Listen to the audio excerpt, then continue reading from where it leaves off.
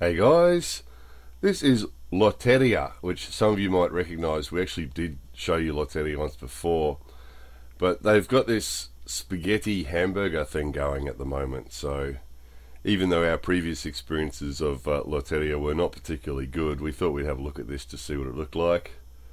So, we've got a large size drink there, small size potato, and the hamburger, and it was about 680 yen. So, it's about $6.80 or almost $7. And that hamburger is smaller than smaller than a hand.